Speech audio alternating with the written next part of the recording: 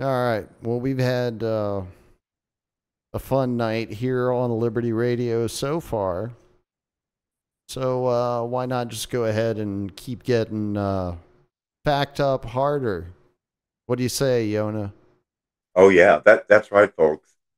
It's happened once already, and now it's happening again. It's Get Fact Harder with Colonel Drizzle and Major High Yona.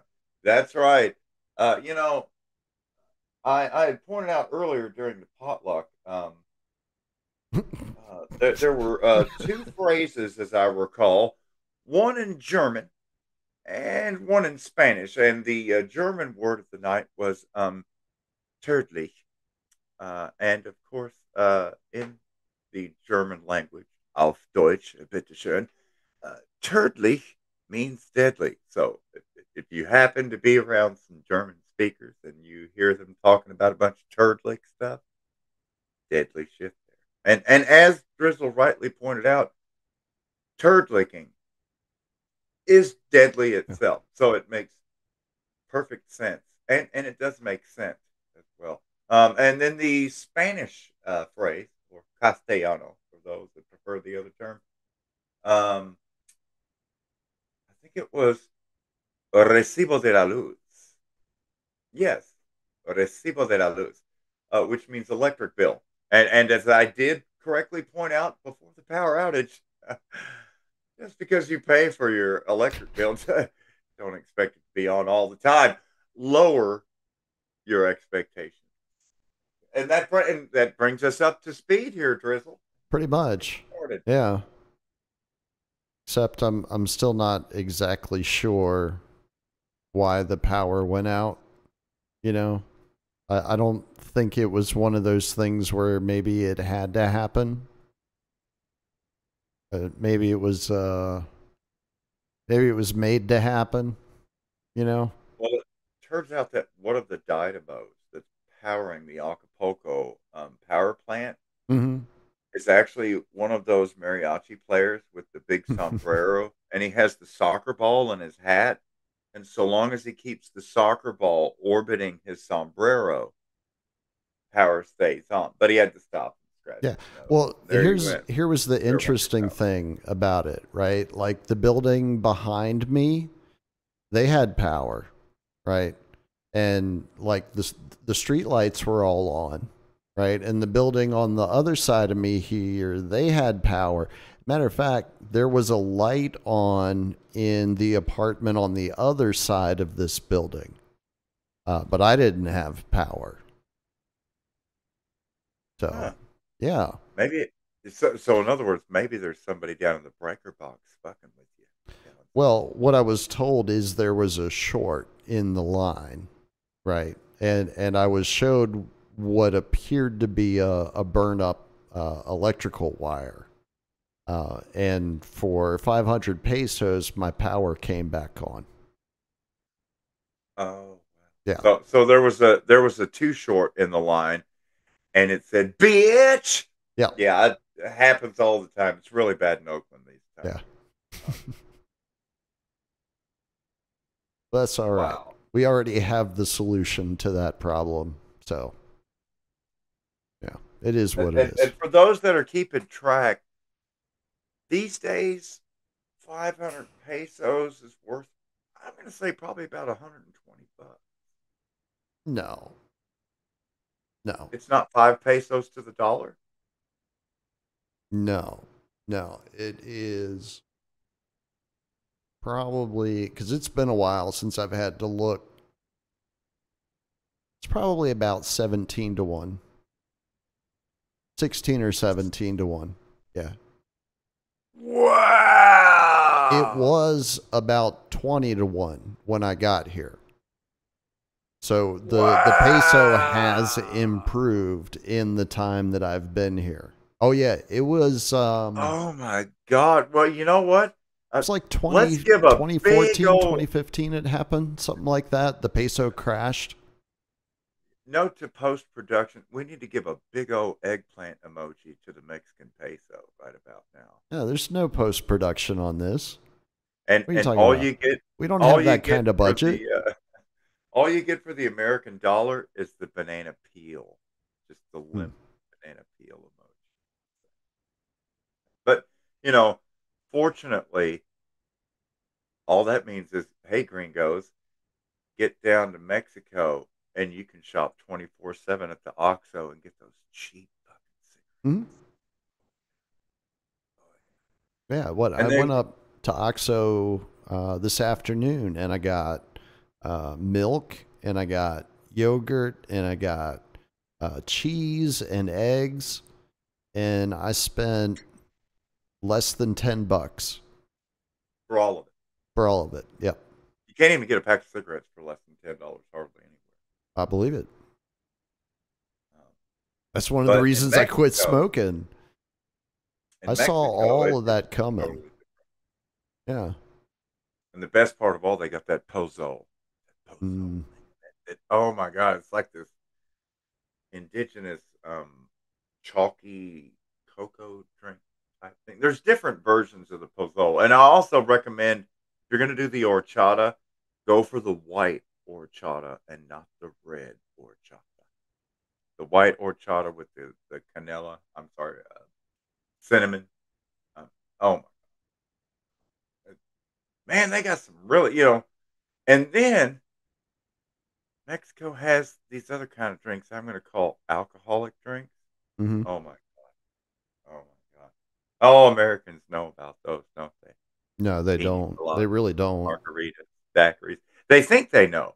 All all you've ever had, estadounidenses, gringos, all you've ever gotten to taste is the simulacrum of the real thing just a, a poor fake substitute that somewhat resembles in taste and look and feel the actual true experience of shit that's literally shit from the ass of an agave worm. But I'm telling you, man, Yona's pro tip when in Mexico, always go for the mezcal.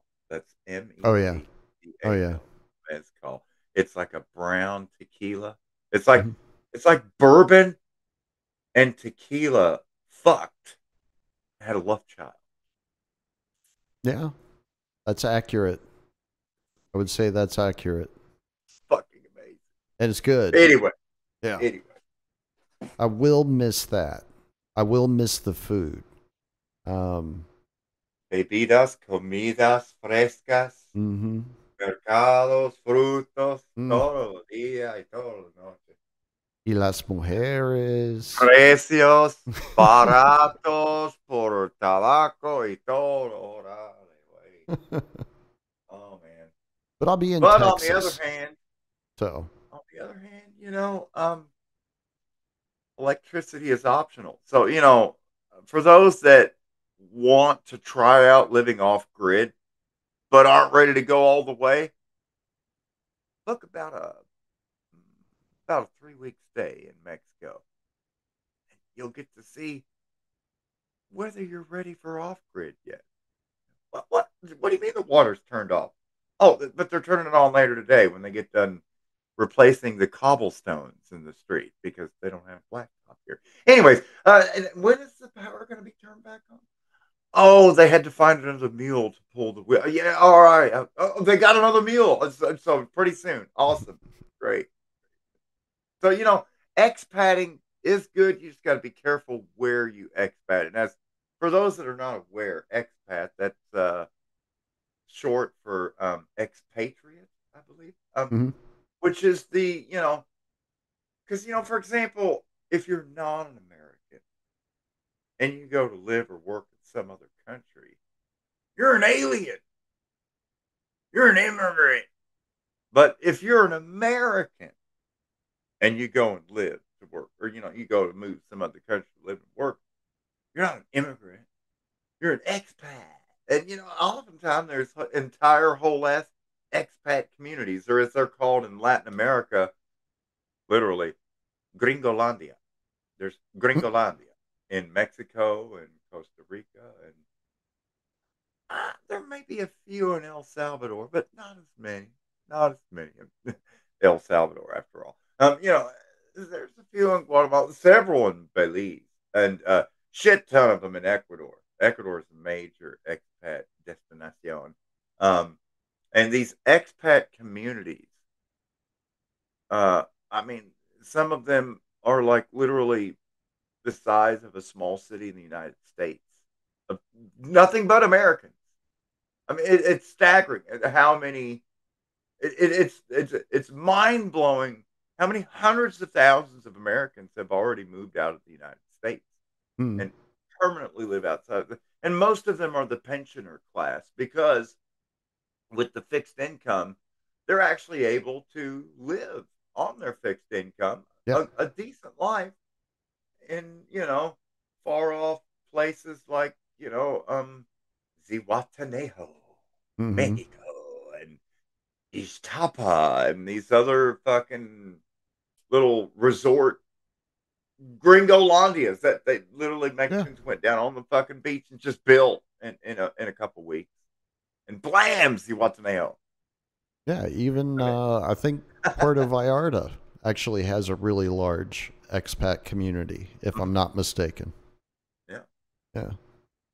Uh, I'm sure the the resort cities on the eastern side do as well. That wouldn't oh, yeah. surprise me at all. Around Veracruz, Tampico, you know. Um, mm-hmm. Um, and then particularly now, the hot spot is all around, you know, Campeche and Quintana Roo state with, mm. you know, Tulum and Chichen Itza and you know, the whole Mayan playa there, Cancun, Isla de, uh, de la Cozumel, you know, Cozumel and Cancun have already been spring break hotspots for decades. And now, uh, you know, um, one of the probably the most controversial acts, I think, of uh, Andres Manuel Lopez Obrador, or AMLO, for short, uh, mm. Mexico's president, current president, would be the Tren Maya, which is this uh, Mayan train, standard gauge rail, which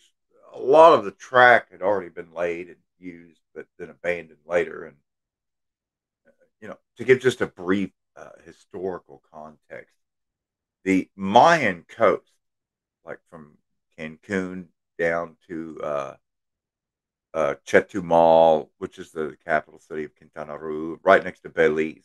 That's the Mexican frontier. Those were the last states to be added to the Mexican Republic in the 1900s. Um, hmm. And so that was still a wild frontier in the 20th fucking century with, you know, loincloth wearing Mayan Indians still diving through cenotes fighting the Mexican federales in the 1920s for their independence, which they didn't get. Um, and instead, my kind of people. One of the estados of los 33 estados mexicanos, because there's 33 states in the Mexican Republic now, 33 states, um, and two of those are uh, part of the Cancun megaplex of tourism now then uh, you know, I, I full disclosure, I have been to the Hard Rock Cafe Cancun, um, but I didn't buy a T-shirt. Do you have the shirt to prove it, though? That's the question. Nope. Said fuck it. You know, I. I mean, even at one time, I'll be the first to admit I actually did have a members only jacket, but I mean, I thought it was required if you lived in the United States in the 1980s. Like, the wasn't it written is, into law? I had a puppy and I'd given it anti or dewormer pills. And while I was holding the puppy, wearing my members only jacket, it pooped out the worms onto the jacket. And so I threw away that members only jacket early into the fad. And, uh, Luckily, I replaced it with uh, one of those awesome aviator leather jackets. Remember when those were the fucking thing? You know, oh yeah, yeah. The movie Pearl Harbor had come out with Ben Affleck, and it was you know it's the rage again. Um, uh, and funny story, I ended up getting dog shit on that one. So I'm Worms took out one jacket. Dog worms got one jacket. Dog shit got another. Um, but you know, I miss my dog. I, I, I, I do miss. You know, I. You can replace jackets. You can't replace the fur babies. That's true. That is true. Speaking of dogs, uh, AMLO, the the aforementioned uh, El Presidente uh, of the Mexican Confederation or whatever it is, um, he's going to be gone soon because his his his term is going to be up or, or what or however they do it. I don't know how they do it down here. Maybe they just come and tap him on the shoulder. I don't know. Um, but well, actually, at the end of their term, they're tied into a tree like a pinata. Yeah. And all the new candidates get to swing a stick, and if they hit him in the right spot, candy falls out of his ass. But anyway, uh, that's how they do it in Mexico. Well, his replacement, uh, or at least the person that they think is going to be uh, elected by the people, right, uh, to be his successor, um, is if elected, she would be not only the first female Mexican president, she would also be the first Jewish Mexican president. I think oh, ever, like in the history of ever, I don't think there's ever been a female Jewish Mexican president of anything before. No. Yeah, so that's like a world record. That's like a world history world world record. Like you can't you can't top that. She's like the first ever to do that. And maybe the last, who knows? Cuz things are looking bleak. that's going to be a difficult one to top. A female Jewish Mexican president. The only thing that might top that right, is uh, like a female Iranian. Uh, uh, no, see, I can't even. I can't even like pull it out of my ass. I was going for like a pope, right? Like the most ridiculous pope you could think of, but I couldn't I couldn't even do it. Like I couldn't write the joke. That's how absurd this is. I got you one better a self-made billionaire hot dog female hot dog vendor from Saudi Arabia that becomes Saudi Arabia's first female leader. Hmm. Made her fortune selling not halal beef wieners and became Saudi Arabia's first female leader. And at last, ladies were allowed to drive thanks to the sale of Wiener. Thank you. Long live the kingdom. Anyway, mm. uh, you know, uh, did you catch that? Uh, what was it, Bret Baier, Fox News? The the, uh, the tongue, um, the, the the licking interview where he was licking Mohammed bin Salman in a very loving and nurturing fashion. Uh, for the, I mean, we're talking about the leader of well the the, the ruling prince yeah. of the kingdom of Saudi Arabia, none other than uh, Mohammed bin Salman. Um, and he was interviewed by Bret Baier um, in English, and uh, MBS, Mohammed bin Salman, MBS, uh, speaks the English, and gave you know the whole interviews in English, and so I mean, he should. He's saying. of uh, British descent, so.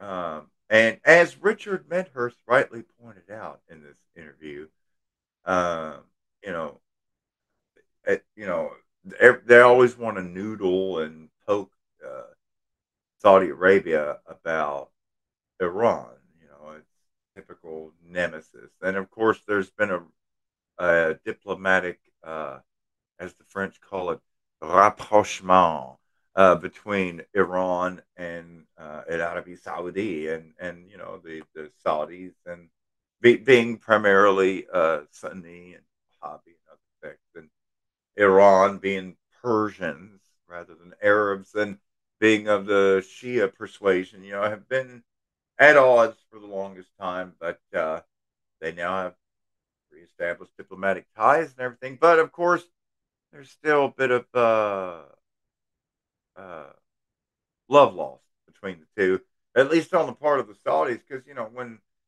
uh, Bret Baier kept pressing the point to MBS about what well, uh, and what about when Iran gets nuked? But what about if Iran gets nuked? And he's like, man, you know, nukes aren't really a good weapon to have. I mean, if you get the nuke and you go to use it and you kill 100,000 people, now you're you're at war with the entire world. Mm-hmm. So it's like a weapon you can't use. You know, there are other weapons that are far more useful that you actually can use. And so I don't understand. Well, what if Iran did get a nuke? Well, obviously, if Iran did get a nuke, then we would have to, you know, just to balance the power of the Middle East, uh, you know, so that they're not the only nuclear power in the Middle East. And I'm like, okay, now MBS and Bret Baier and the whole goddamn studio is gaslighting everybody because mm, Dimona. So you know what I'm saying? Like, okay, so there was this guy named Jonathan Pollard, and he was American slash Mossad spy. and worked at a nuclear facility in the United States. Pull that mic forward just a little bit. Yeah, so this Jonathan Pollard guy. There you go. American slash Mossad agent working at the American nuclear facility there, smuggled away all the secrets to Dimona, Israel, to make nuke weapons. Mm-hmm. Uh, and we caught him at it red handed. And he was put in jail for like however many life sentences. But don't worry, folks, there's a happy ending to this story. Out of our undying love for God's chosen people, the Israelis. We let Jonathan Pollard go back to Israel. Mm-hmm. He's been reformed. And as for the nuclear weapons that Israel then made with the secrets that were stolen from the United States, wait a second. No, I didn't say any of that. Israel totally doesn't have a nuclear weapons program at all. Never mind. Moving on and that's how the whole world treats it the UN and everybody. Yeah, the UN. Everybody especially. knows that they have it, and nobody knows because, you know, the IAEA is just a tool of Mossad and the Israelis to spy on every other nuclear program in the world that's competing mm-hmm. with theirs that doesn't exist, that everybody knows exists, and pretends it doesn't exist. Yeah, and sabotage the people that they don't like. yeah. And and then strangely enough, so as Richard Medhurst pointed out, the Saudis would be worried about Iran having nuclear weapons because that would upset the balance of power in the greater Levant. But the fact that the Zionists got nukies, not a, not a problem. Because, you know, the, eh, Israel's fucked with every one of their neighbors except Saudi Arabia. Because they do touch Saudi Arabia at the Gulf of Aqaba. That's A Q A B A. Aqaba. Yeah, but nobody messes with Saudi Arabia. Nobody. Like, well, and, and you know, they're like the Switzerland of, Arabia, of, the Middle East. If you think about it, they're they're kind of like twins in a way. They're they're they're, they're peas from the same pod, because just as Lawrence of Arabia launched the Sauds and the royal Saud family coming to, and they helped create their own country for them, carve it out. Same thing with the Zionists, the Balfour Declaration. Mm-hmm. Um, you know, go back to uh, several Grand Theft World podcasts for more information about uh, the initial settlement of Palestine, long before the kibbutzes. It goes back to the early, early 19th century. That's 1800s. Yep. Yeah. A- anyway. Um, you know, I mean, you know, one man's Haganahs, another man's Mossad. You know what I'm saying? Just different time eras. One man's OSS, another man's CIA. And then Downing Street joins in, and it's just one big bukkake of um, Anglo American um, lovemaking. There you go like like Porton Down and the Skripals. and why did they have to kill the animals? You know, I mean, why not? Anyways, I, am not going to go down this. Well, it's uh, like the the cops, right? They don't have to shoot the dogs most of the time; they just do. Yeah, because like, uh, they can. Didn't that happen at Ruby Ridge with the sniper guy, Lon Horiuchi? When he's mm. firing on mm. the and he, and he, he, shot the guy's wife and, and killed mm-hmm. the family dog. That yeah, that was Ruby Ridge. Yeah. Yeah. yeah. America's Greatest Hits. I'm telling you, we go through all. of you know, I I still haven't seen the latest greatest um, docu movie or whatever you want to call it that they made of uh, David Koresh and the Branch Davidian compound and Janet Reno giving the order to, for the ATF to go in there and um, burn all those people alive. You know, funny story. Um, and who can re- forget Janet Reno tugging on one side of baby Elian from Cuba? Remember that thing? Oh my god, I've forgotten all about that. Yeah, I mean, yeah. I, I, just can't go Janet Reno and not do the whole. You know, I mean, and I look back on these stories now from the point of manufacturing reality mm-hmm. and the mm-hmm. whole zeitgeist of propaganda, and you know, it was actually better. You know, the the the, they they took the babies out of the incubators and threw them on the cold hard floor. Hey, yeah. I'm going to give credit where it's due. That was some pretty good acting, man. Those are some pretty fire ass lines, man. I look back on it by comparing it to today's propaganda. Hmm. That was like usable cow shit that you find in the field. Fuck, there might even be mushrooms on that stuff compared to the dog shit we're served today. You know, and, and, it's gotten so bad that independent media, independent content creators have really been cutting into the general populace. So much so that we're seeing an intensification of the infiltration of the independent media space. Not just in the chats, not just with trolls and haters and stuff, but across the spectrum.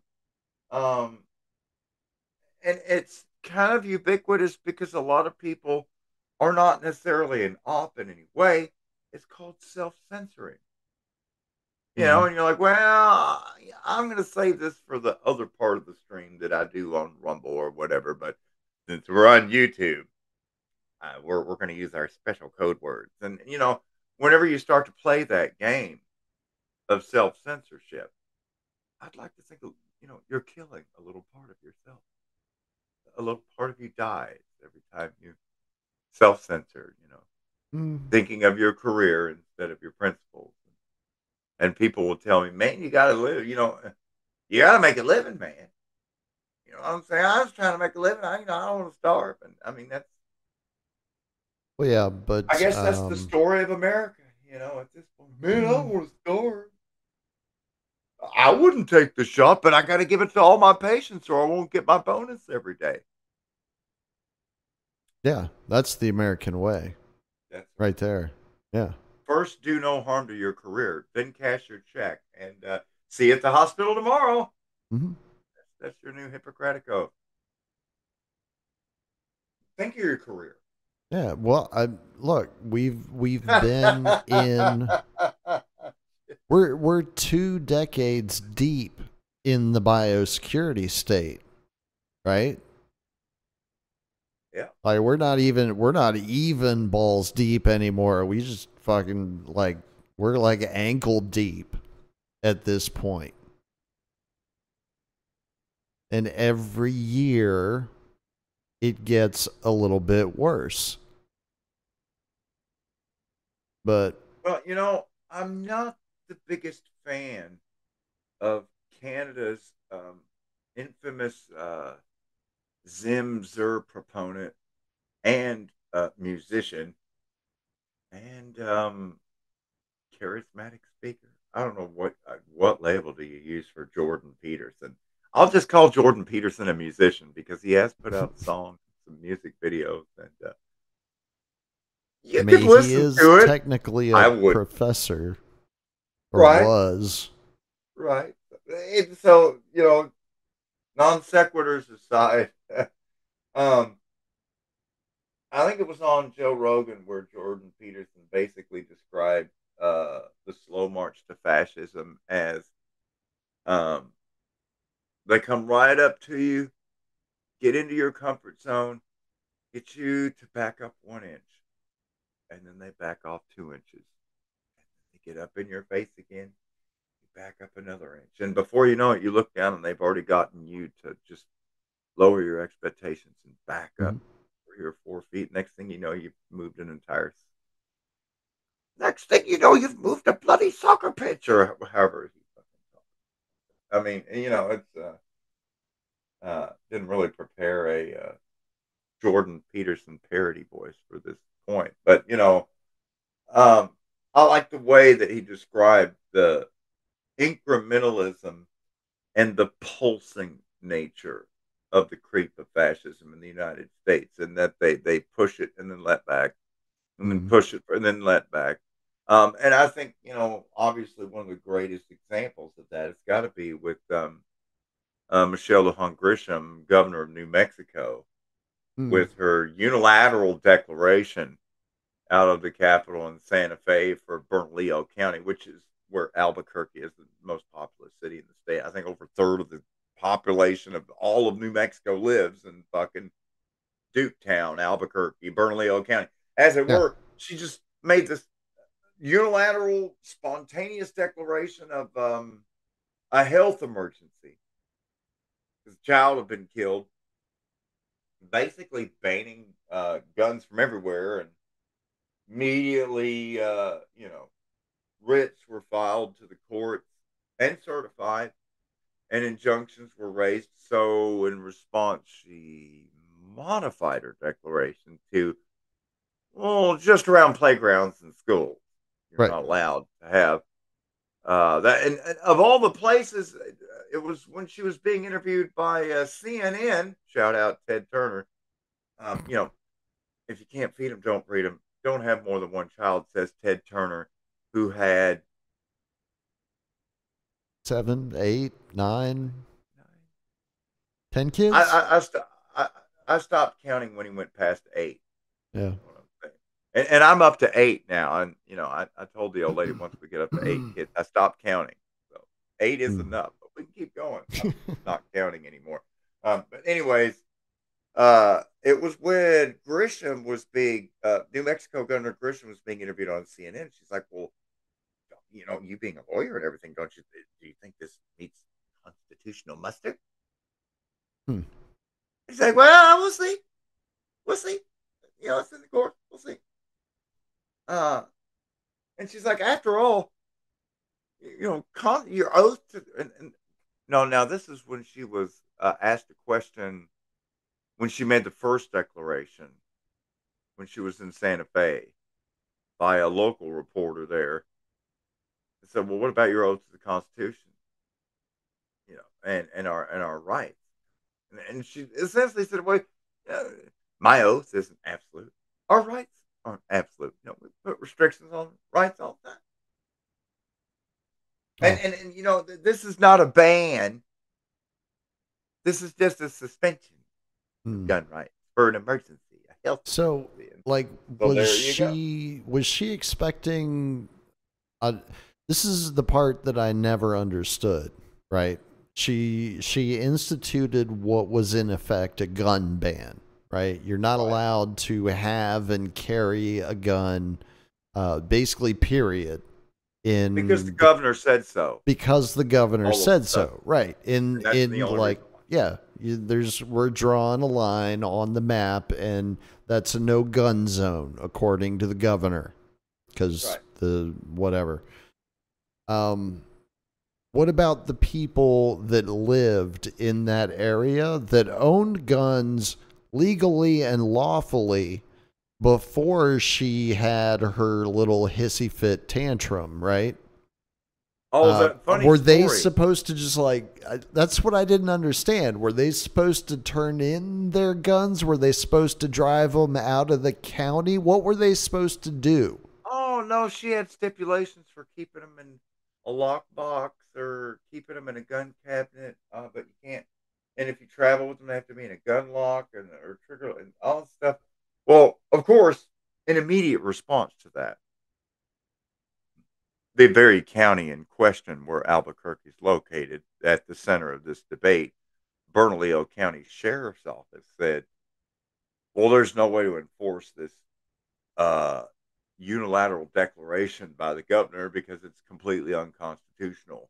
Uh, and then the other sheriff's departments across New Mexico reiterated the same thing. And then the New Mexico Attorney General came out and said there's no way we can prosecute anyone for violating this unilateral declaration of the governor because it's unconstitutional.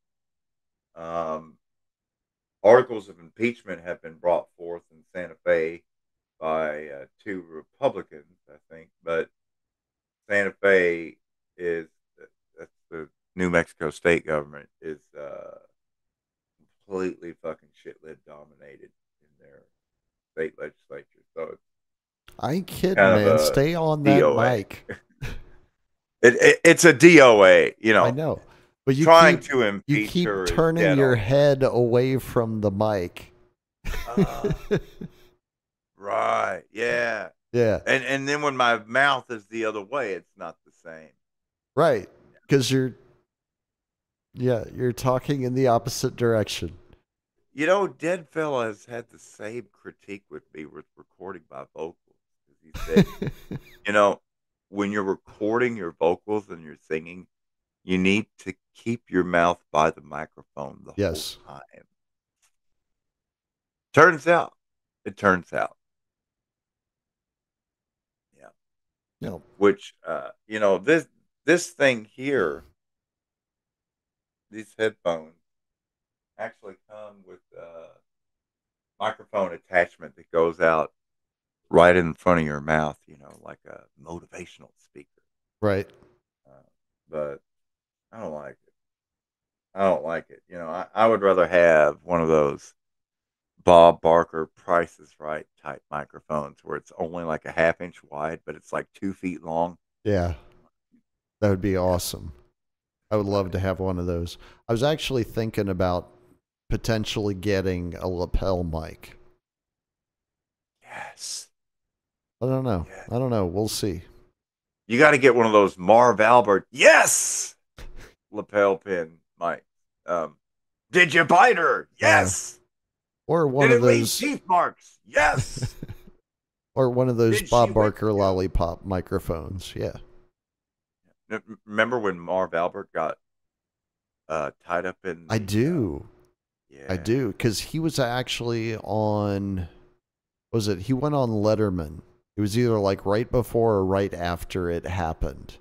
Uh-huh. Uh, and it was like they were. Yeah, his mea culpa. Yeah, yeah, yeah. Yeah, that was pretty good. And they actually took him off the broadcast. He wasn't mm-hmm. doing it for a while, and all of a sudden, about a year or two later, back on TNT. And uh, next thing you know, it's like it never happened. Yep. Yeah and his uh, his brother uh, Trevor, uh, just like he was actually the beneficiary of all of the the bad publicity because he mm-hmm. just kept doing his thing and kept his head down. He's like, no, and, and I mean, he's my brother, but we don't need to talk about that. And just kept going, and he was fine.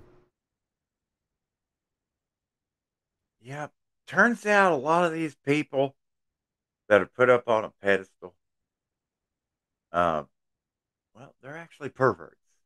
Yep. They're kind of perverted. Yep. That's why they're put um, on a pedestal because uh, they can be leveraged. Mm-hmm. Yeah. That's what most well, people you know, don't understand about being a celebrity is the only way that you're going to get to a status of like a Brad Pitt or a Tom Cruise or an Angelina Jolie or somebody like that is if you compromise yourself enough times along the way. That's the only way you're going to get there. And you have to obey your handler. Mm-hmm. Ask Kanye. Well, that's I'm sorry, part his of trainer. compromising his yourself. Trainer. I'm sorry, his yeah. trainer. We'll just call him an engineer. That's that's good enough. But you know, it, it, it's really remarkable how far we've come from Edmund Bernays and Madison Avenue and you know Liberty torches for the women and, and the whole birth of modern propaganda to the opening of the Laurel Canyon Studios uh, in California, where the War Department, now Department of Defense, began producing so many movies and propaganda films. You know, a lot of the films that we've seen, including the footage that I used for my music video for the song World War III Save Our Economy, where it's got all the footage of uh, alleged nuclear tests blowing down buildings and everything. And, you know, when you watch those videos over and over and over again, you begin to notice things. Like right before the explosion at the house, there was no car parked next to it. Then when the explosion happens, there's a car parked right next to it. Well, that's weird. Well, uh, how did that happen in the same camera shot? So that that car just the explosion of the nuclear stuff caused the car to materialize right as the car vanished, and so and then you notice like in a it was bending shots, space and time. The smoke is too big, and the buildings seem like it seems like special effects filming for a Godzilla movie where mm. it's not really a Godzilla in Tokyo. It's a miniature Tokyo and a Japanese dude that's actually only three foot eleven wearing a Godzilla suit. Okay, Joe stomping Biden. on the toy building. And um yeah, so it turns out some of the nuclear tests may have been slightly over exaggerated at to be fair. Uh, mm. at worst they were totally fucking made up. But you know um things like that um practice moon landings because of course the real moon landing was totally real. Um but whatever. So uh, so many of these famous movies and films things that, that we've seen throughout time from beginning in the 1950s up to about the late 70s. They all came from America's most prolific motion hmm. picture studio to ever operate, producing more films than all other studios combined still to this day. Mm-hmm. Laurel Canyon Studios. And yeah, look out, Marilyn. Yeah, Marilyn Monroe, Ronald mm-hmm. Reagan, Walt um, Disney, Jim Stewart, Walt Disney, yeah, on and on on. Um, one thing to look forward to, folks, here that that peruse the Rokfin type um, websites. Uh, I've done a couple of uh, movie watch alongs in the Mystery Science Theater 3000 type vibe there, MST 3000 vibes, where I kind of Beavis and Butthead along with my sis, uh, occult priestess, uh, watching old movies, and and we've done Brave New World. We've done Soylent Green. One other one, but the next one that we're going to do, we're we're trying to pick out our favorite selection, our favorite uh, movie from Laurel Canyon Productions hmm. to do a watch along. So be on the lookout for that on the Occult Priestess Rokfin channel. We uh, uh, we've got it down to a short list, and so I've got to watch more, and she's got to watch more, and then we're gonna see which one we agree upon. Uh, which movie that was produced by Laurel Canyon, Lookout Mountain, and uh, that that we're then gonna fucking crack jokes on and mm-hmm. uh, make fun of for the entire time it's playing. You know, like kind of like Beavis and Butthead making fun of music videos and shit. Yeah, that That's should be something that we do on occasion. It, it is. It's you know, uh, if you, I, I highly recommend people go check out Occult Priestess's channel. She's had some fire content. She did a major show on um, uh, what's the British uh, Messiah dude's name? The Second Coming of Jesus Christ. Uh, Russell Brand. Yeah, Ah, oh, okay. yeah, yeah. The Messiah. Well, that was one of his movies too. Um, uh, Was it? Yeah. Remember Which one? Russell Brand in the Messiah? I don't remember him as the Messiah in anything. No, it was like him going around like as a guru, as a fake guru in that movie. I don't know. I honestly didn't watch a lot Uh, of know- Russell Brand's movies. I never Honestly, thought he was whenever I good play, uh, whenever I play Trivial Pursuit, the hardest pie wedge for me to get is always movies. I, I, I Really? trivia. That that's my Achilles heel. That that's what gets me every time And they're like, "What movie did Cary Grant star in in 1952 with Ethel Merman?" Fuck if I know. You know, I never been much of a movie buff like that. I, you know, there, there's some movies, but God, it's been so so long since I watched a movie, and there's been more movies coming out lately, and you know, we could even cover and review some movies, but why? Why? Yeah. There's so many other things I could waste my time with, like just Yeah. constantly getting high and making music. So I don't really have much time for the propaganda. But the the point I started at before this long ramble just completely evolved fact that we've seen the in, what I would consider to be the invention of modern propaganda, where this American monoculture was crafted by the minds of Madison Avenue. I mean, so many of the cultural icons that we associate with Americana today, like Santa Claus in his red suit. Well, You mm-hmm. can thank Coca Cola for that. What we think of Santa Claus today created by Coca Cola, believe it or not. Um, so you know, I mean, it again, it's Madison Avenue through iconography and narrative and storytelling And the news. created, you know, it's it's really created such a loyal following. It's such a deep part of the American uh, psyche now, associating different icons to the point that I'd say most kids today can identify icons quicker than they can actual letters of the alphabet. Oh, that's the Nike swoop. You know, oh, that, that's the EA Sports logo, or, or whatever the case may be for the icons and symbols. Um, it just goes to show the the ever increasing power of advertising, and people are sick of it. Uh, Who likes ads? I mean, would there be ad blockers if everybody loved ads? You know what I'm saying? It- That's a good uh, point.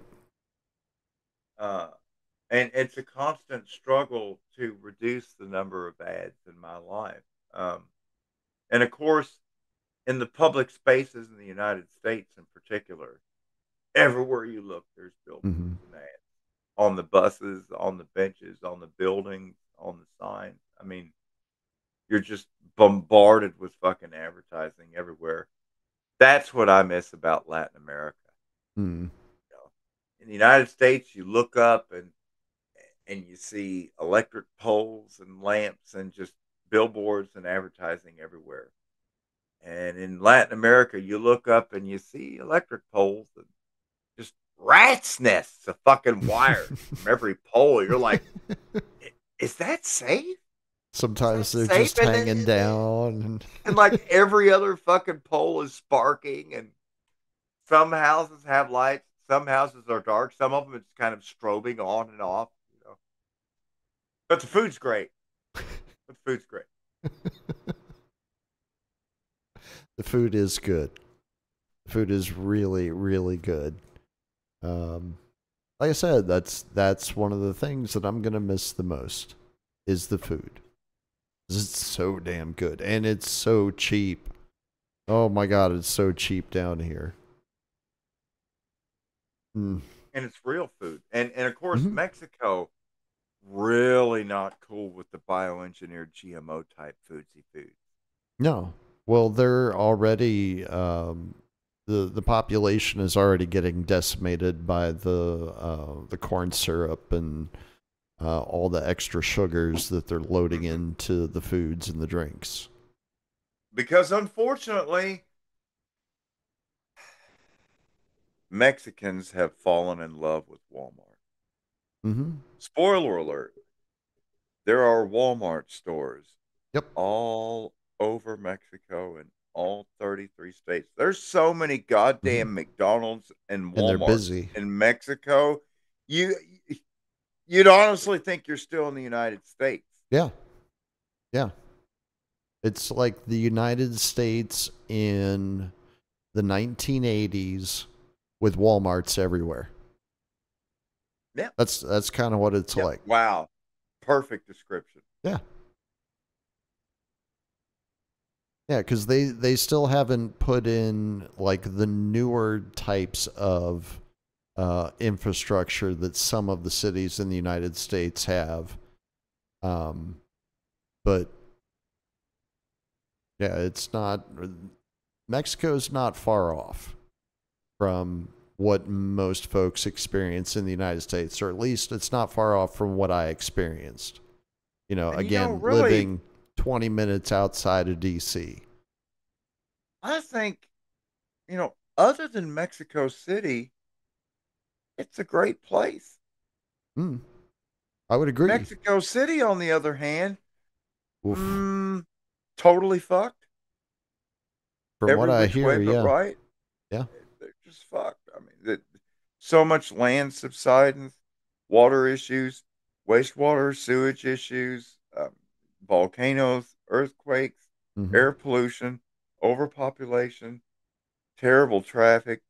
Um, um, well, in, in Mexico, they're called chilangos. I know. I mean, them. By some metrics, Mexico City is the largest city on earth by population and density. I by, believe by it. some metrics. By some metrics, it's it's staggering how many people are in Mexico City. I mean, mm-hmm.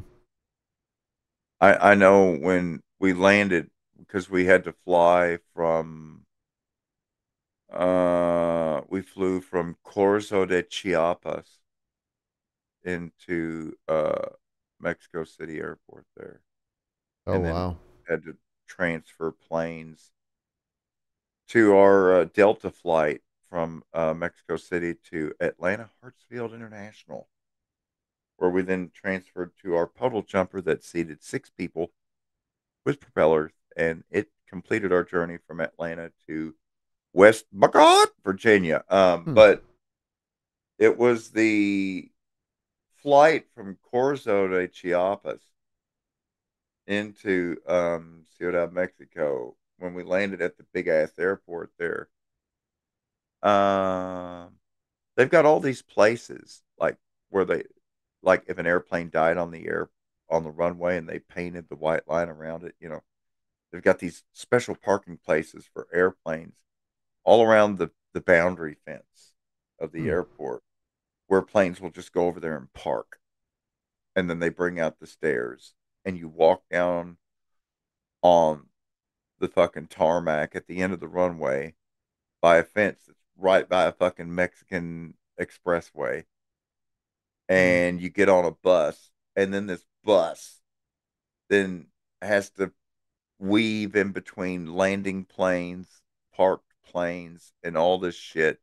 And after about a 20 or 30 minute transit, you're finally at the terminal building. But not at the actual passenger terminal building. You're at the bus terminal for the runways that serve the airport terminal. And so you go in there, and it's like, because they've got like 20, 30 different, a fleet of about 30 buses Good that Lord. are ferrying passengers to and from the overflow flights that park on the edge of the runway. And that's what they do with all their flights coming in from like Chilpancingo, Oaxaca, Michoacan, Corzo, Sinaloa. Hmm. You know, and then for the big flights, you know, coming from like Monterrey or Cancun or international flights. Well, they they actually get to dock at the passenger terminal, and the little thing comes over to the door. They mm-hmm. never have to walk on the tarmac; they just walk right into the terminal. Because you know that's how it was when we boarded our Delta flight to Atlanta. It uh, sounds a lot like they how they did uh, the layout with Dulles when they added uh-huh. the uh, the was it second terminal or third terminal? I don't remember. Third terminal. Yeah. And and you got to fucking get ferried all the way out there on a goddamn bus. Yeah. Fucking bullshit. Yeah. Retarded. They did the same thing to us at the Palermo airport. No, hmm. not Palermo. Barcelona.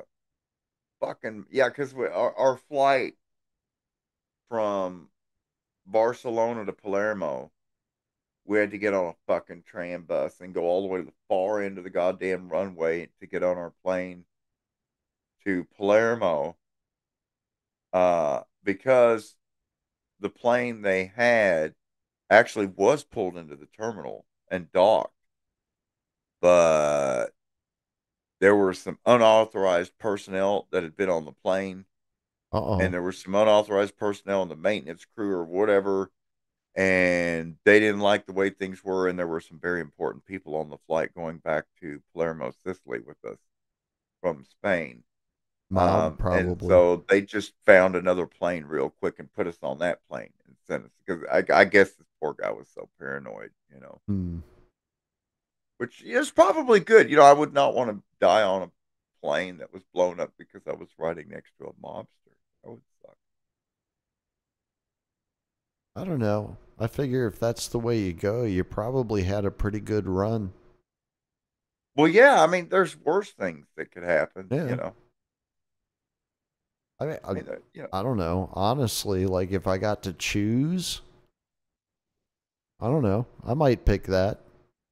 I mean, like how how quick? How much of the uh, the blast and and the the falling out of the sky and the wreckage when you hit the ground. How much of that do I actually have to experience? Because if it's not a lot, I might I might go that way. That's a far more pleasant death than dying of hypothermia, being saran wrapped to a utility pole in Ukraine because you're not Nazi enough. Which brings me to the subject of Canada. I've been holding back all this time, but but I did tentatively call this episode two of Get Fact Harder with Colonel drizl and Major High Yona. What the Canuck, man? Yeah. What the Canuck? Jizzed in turd hole. Canada's first black prime minister has completely, he's just completely fucking lost the plot at this point. Um, Canada is the laughing stock of the world. They've actually outdone the United States for a change. I know this shit with the Sikh leader and then the whole Yaroslav Hunka five minute long standing ovation mm-hmm. because Yaroslav Hunka was in the Waffen SS division. Mm-hmm. Yeah, because he fought the Russians. He's and uh, the Americans and the British.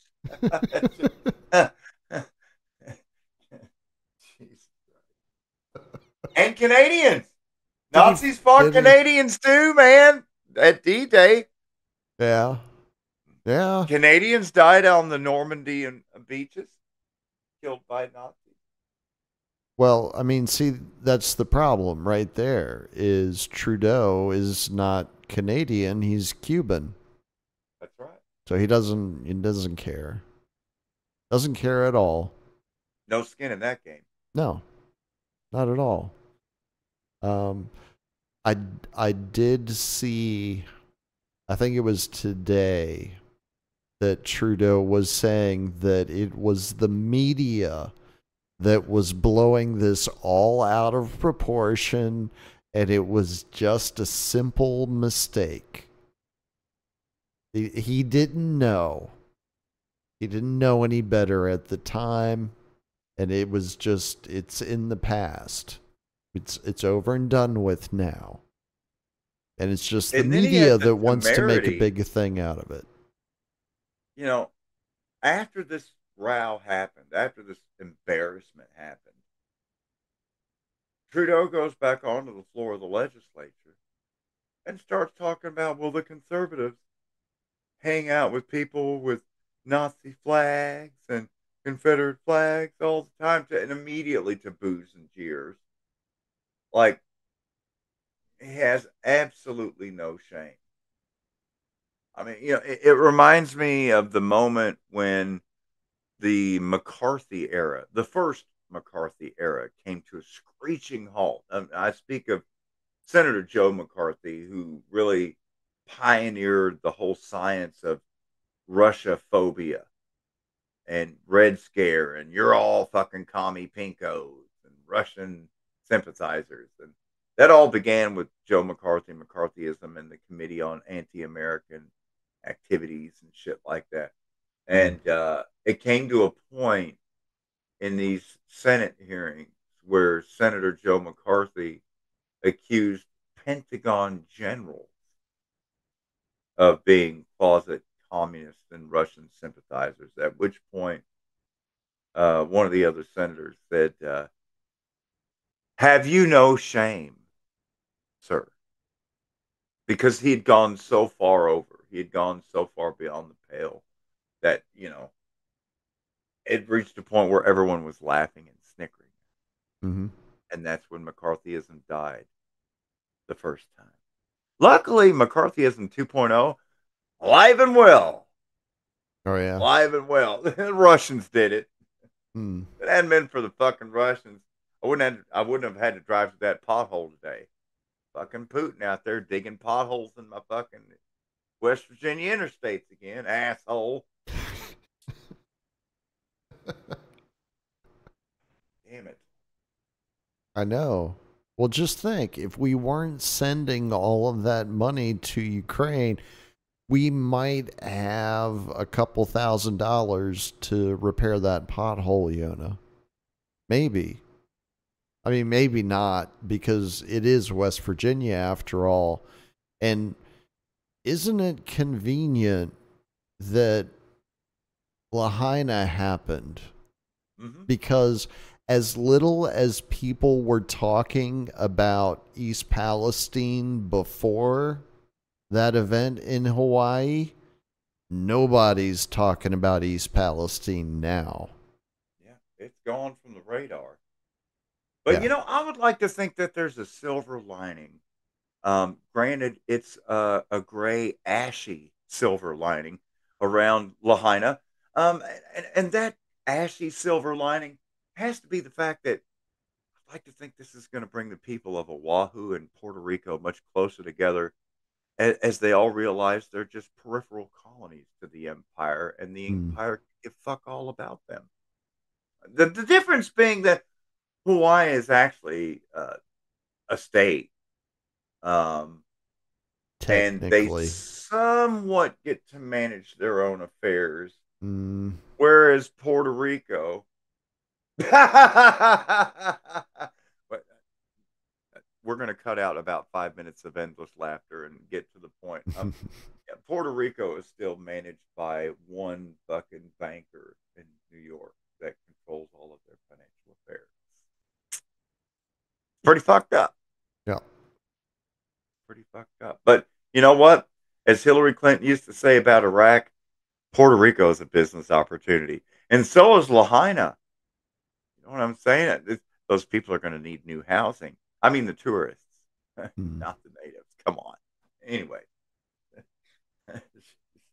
but no, I was gentrify me that. harder, Daddy.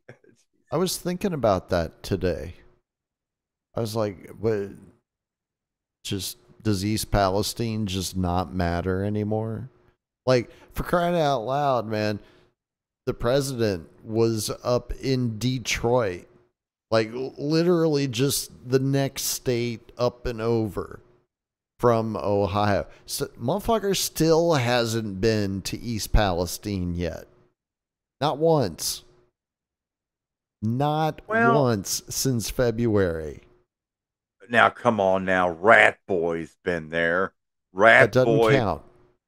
That does not Poot count. Booty Fudge. Poot Booty Fudge is the uh, is the Secretary of Transportation. That's got to count for something. He's not even the secretary of his bedroom for crying out loud. And you know, really, I think Poot Booty Fudge would be the perfect successor to Poopy Pants. Why? I have a feeling I'm last, sorry I asked. at last, we would have the deep state itself ruling in plain view. I mean, don't they already? Yeah, yeah, and and but it's congruent to go from poopy pants to poot booty fudge. Mm-hmm. Pretty much the same thing. The only thing is, poot booty fudge is doing it in assless chaps without diapers. Yeah, but he just doesn't look presidential. Like he does not have that look.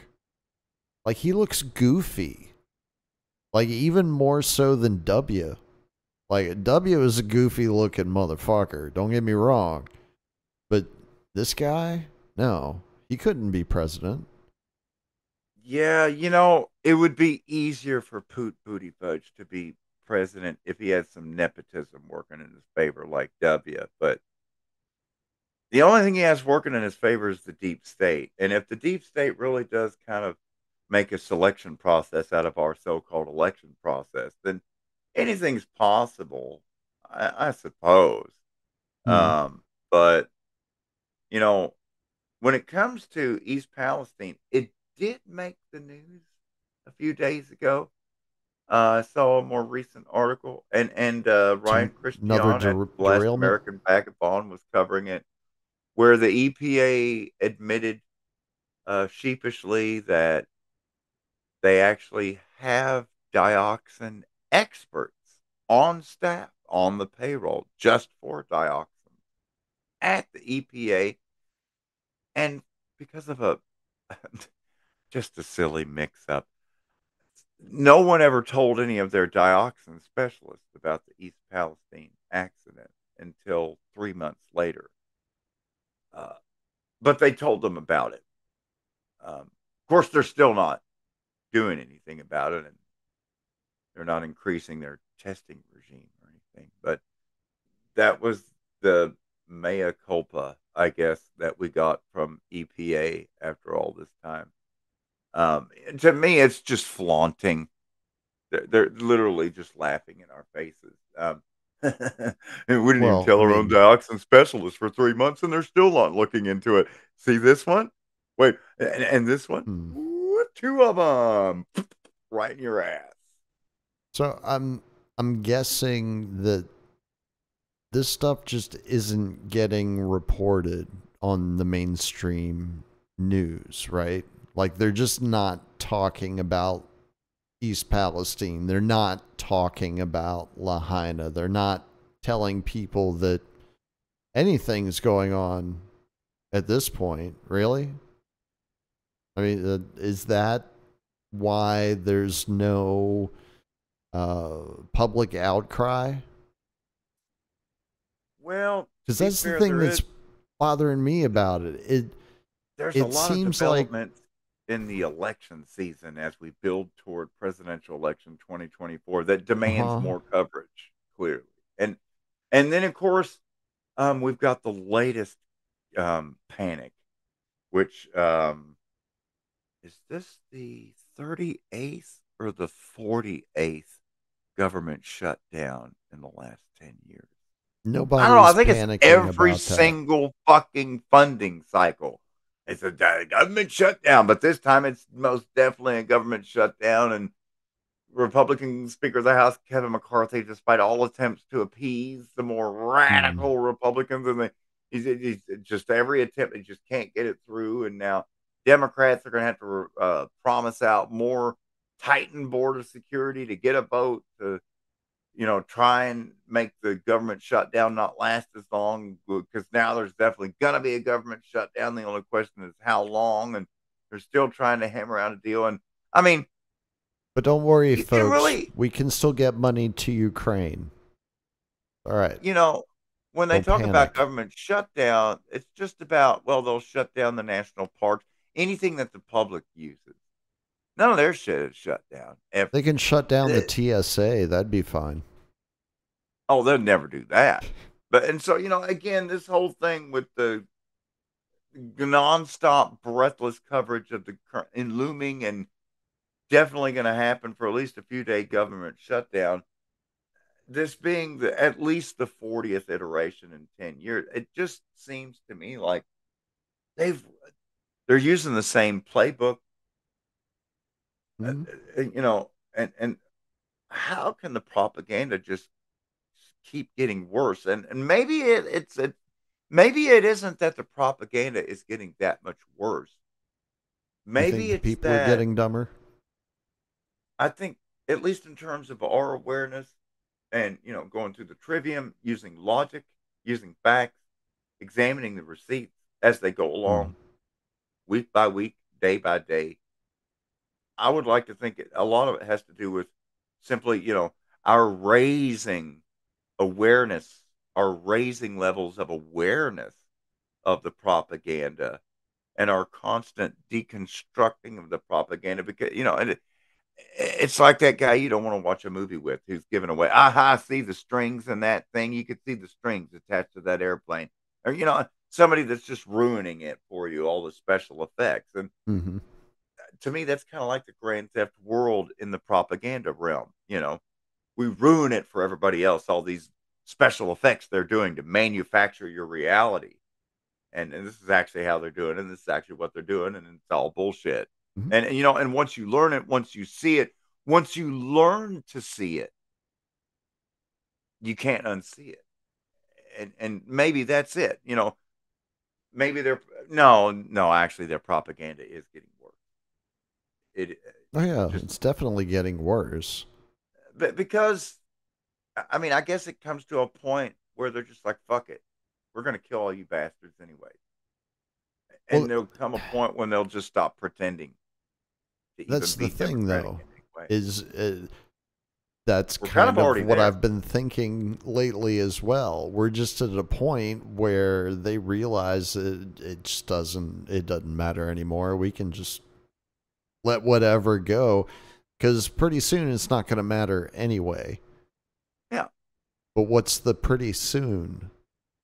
Like, wh- what is that? What does it look like? And and why do they know that it's going to be soon? Well, for one thing, to me, it's beyond the pale to expect the country to accept the unconditional reelection of Joe Biden despite any number of varying factors or candidates, regardless of whatever outcomes, if they're just bound and determined to just reinstall militarily, once again, the Biden Harris regime, I just don't see that flying. I I, don't, don't see that see happening. I don't even see it happening. In fact, for me, it seems a much more likely outcome considering the way they've been telegraphing the past in the mainstream media uh, and the way that even CNN and MSNBC are now shitting on Biden. He's gonna. I don't see him lasting. I don't see Biden on the ticket in 2024. I don't. No, I don't. I They're don't see him uh, anywhere in 2024. Like he's not going to be in the picture. No. If I had to guess, and you know, this is awfully early out. We'll move on from the playing with dolls and action figures and politics and puppets. But if I mm-hmm. had to guess who the race is going to be against uh, next November, I'm going to say it's going to be run. Uh, it's going to be Florida Governor Run to Satan versus um, California Governor Navin Gruesome. Gruesome hmm. versus to Satan. But uh, Newsom already said he's uh, he's not trying to run for president, and DeSantis is currently floundering. So how how are we pulling those two rabbits out of the hat? How's that going to uh, happen? Well, because uh, right now, DeSantis the most popular the, the backing. You know, and when you've got Mossad on your side, those are the kind of friends that matters. Just ask Jerry, uh, Jeffrey Epstein. Um, and you know, when it comes to the other side of the ticket, nabbing Gruesome, he can say what he wants. I've seen his embossed, textured American Psycho business cards, full color. Oh yeah, yeah, he's going for it. He's going for it, and and he might just drop a cloth and kill you with a pound and a half upholstery hammer because it takes more swings. He's that kind of psycho. Nabbing Gruesome. so that's why they call it California. Are they going to do like some sort of Nixon Agnew thing to get rid of Kamala? Because Joe's got to go. Joe's a problem. All right. Joe has to go. One way or another, it doesn't matter how it happens. Joe is a liability now. So he's got to go. Well, but, to me, the real story of this election is going to be third party candidates. How many votes is Nick Brana going to get? Are, are, they even on the ballot in any states? How, what happened that? to movement for a People's Party and Nick Brana? A movement for the People's Party. Um, I guess it's a bowel movement and they're constipated. Um, check yep. it out on the uh, Panquake with Suzie Dawson whenever that's up and running. Um, so uh, I, I couldn't resist. So and then and maybe uh, I also heard maybe Wobbly Bobbly uh, RFK Jr. might run as a libertarian. Take that, Democrats. And and I we thought... could get corn. We could get Cornel Pop as the Green Party candidate. Remember nope. what Joe Biden said? Cornell Pop was a bad dude. Nope. He'll never get on the ballot. Never. They won't let it happen. They won't even let uh, a third party on. They're not going to let a fourth and a fifth. What what is this? Great Britain? No. So there's two. You really, get two. We're really not. There's not going to be any Democratic caucus to ride this election season. Why? Why? Why do we need to do that when they can just say, "Here, this is your choice"? Because if you truly believe in the primary system, why wouldn't you also be a caucus sucker? Hmm. Speaking of caucus suckers, uh, that was an excellent segue. Did you happen to see, Yona, what a judge in New York today did to the uh, the Trump empire? Oh no, fill me in. I, I heard right. whispers about this earlier in the day. So, breaking news, folks. Well, it's I don't know how breaking it is. Let me see. I'm actually going to go over here to my source, uh, which I think most folks now that I my main source is Zero Hedge. That's fine. Let's see if I can find it. More woes for the dick of Cheetos. Poor guy. His legal Let's woes see. are huge. Yeah, it was uh it was an interesting ruling. I'm trying to remember what time of day it was that I saw it. It was there we go. I found it. So the headline is Trump rages at deranged New York judges corporate death penalty decision. Wow, that was a mouthful. Wow. Yeah. All right. Corporate so, death penalty. All right. In a stunning decision on Tuesday, excuse me, a New York state judge found with no trial or jury that Donald Trump, his family, and his business, the Trump Organization, was liable for fraud and ordered what experts in New York financial crimes say amounts to the dissolution of his company. Essentially, um, let's see, where is it here? Yeah.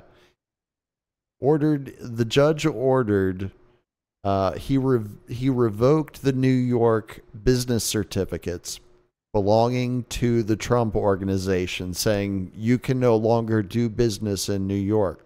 All right, by anything run by Trump or his family, it's all gone, all been revoked, marked out, torn up, thrown away, whatever you want to say, and he also ordered an independent third party to be tasked with managing the dissolution of the canceled LLCs.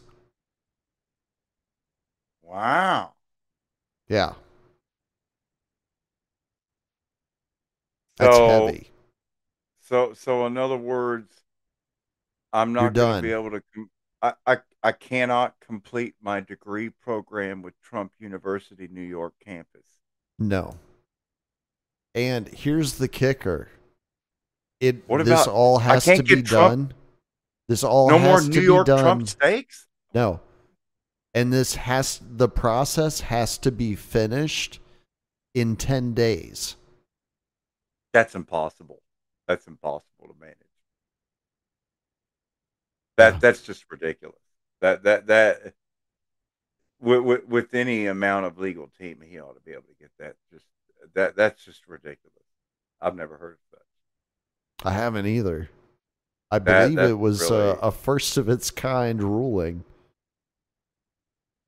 But you know, this is the same New York State that brought charges against Trump in New York Manhattan State District Court saying that he violated federal election laws and that New York State was going to go after him for violating federal election laws that the federal government is not going after him for. But since when does the state deal with the enforcement of federal law? That's not even in their jurisdiction. Um, and so, you know, there's been a lot of hoopla made about a number of these indictments against Trump, many of which are, if you actually go and read it, are just ludicrous. And so, mm-hmm. you know, it makes a mockery of the justice system because there are actually ample number of crimes and swindles that Trump is indeed guilty of. And they never seem to go after him for any of that shit. Nope. Um, and so it's it, it just seems like kabuki theater at Spinal Tap Volume 11, you know, and just the most hyperbolic delivery. Um, you know, I mean, th- there are some definite, you know, there are some things that are giving me, uh, there are some developments here that are giving me quite a bit of hope. Um, and and that is in the fact that we've seen repeated uh, financial pain being brought to different uh, companies now that have taken the ESG or taken mm. different social agendas. Probably the most notable example would be, you know, with Anheuser-Busch and Bud Light and the Dylan Mulvaney um, fiasco. Uh, basically committing harikari to their own brand. Um, and the real story for that to me is in that so many consumers now have really began to start to grasp what power they have as a block of consumers and buyers and and like in the case of Bud Light with beer drinkers um, and it's had such an effect that it's knocked um, Anheuser-Busch out of the number one position.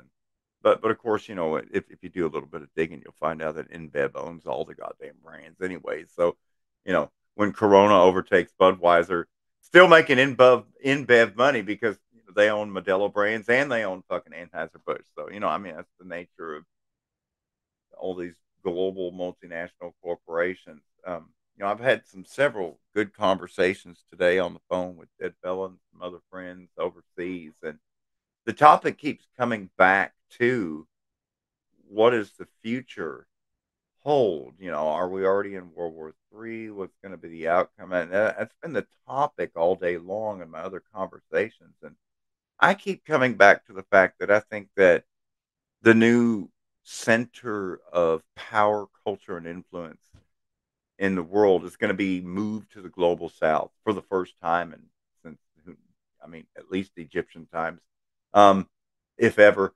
Uh, I say this. I'm talking about China, India, Indonesia, Bangladesh, Pakistan, Thailand, Vietnam, Malaysia, Philippines, Japan, Korea. You know, Southeast Asia. Um, if things continue on their current track with declining fertility rates in the Western countries where vaccination rates were the highest, totally unrelated, totally unrelated. Um, you know, there's going to be an existential threat, and because I mean, already there are more Chinese and Indians put together than the entire Western world, just in terms of head count, um, and it's going to become far more pronounced if we see these just absolute hockey stick graph declining fertility rates in the United States and England and France and elsewhere. Some countries worse than others, but you know, ask Japan what happens when your birth rate completely crashes. You know, and um, by the way, I awesome uh, interview with uh, the lead singer of uh, Kodomo-san. Ah, yes, the honor. Oh, thank you. Title for children. Um, I don't know that he's really... the lead singer, though.